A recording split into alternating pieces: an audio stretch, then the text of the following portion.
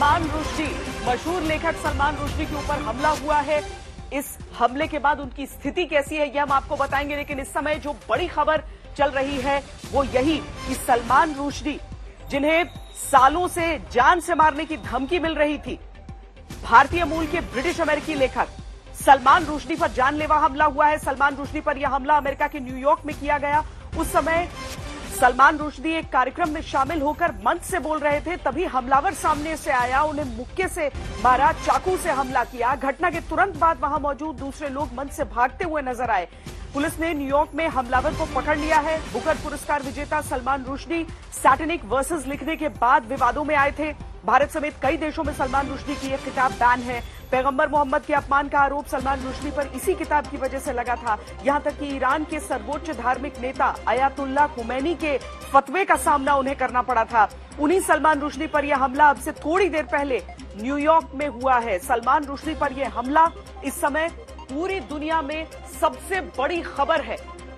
सलमान रुश्दी पर यह हमला हुआ, उसके बाद कुछ देर तक तस्वीरों में वो सुरक्षाकर्मी और पैरामेडिक से घिरे हुए नज़र आए।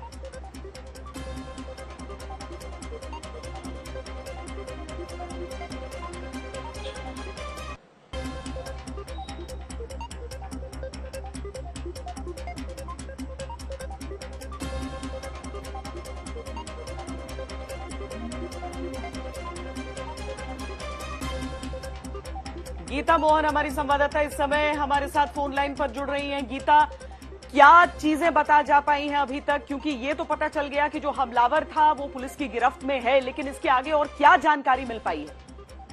जी श्वेता, सबसे पहले जो न्यूयॉर्क स्टेट पुलिस है उन्होंने अभी अभी अपना प्रेस रिलीज़ जारी किया है, जहाँ पर उन्होंने कहा है कि इस पर जो तफ्तीश और इन्वेस्टिगेशन होने हैं, वो शुरू हो चुके हैं।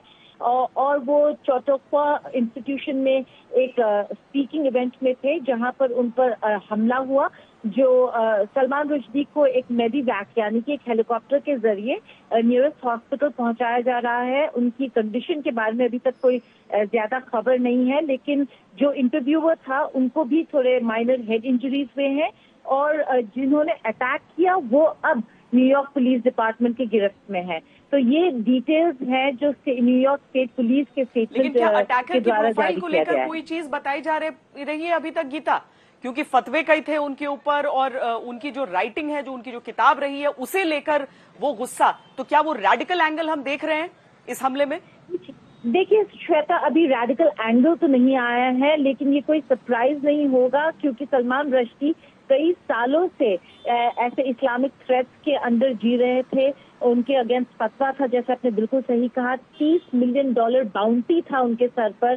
तो हमें ये भी नहीं पता कि वो किस तरीके की सिक्योरिटी के तहत के साथ घूमते थे न्यूयॉर्क और लंदन में। हमें ये पता है कि लंदन में वो ज़्यादा सिक्योरिटी नहीं होता था उनके पास, लेकिन जब भारत आते थे तो कुछ सिक्योरिटी के, के इंतज़ाम ज़रूर होते थे क्योंकि न केवल इस्लामिक देशों में या भारत में भी सटैनिक वर्सेस जो किताब है वो बैंड है।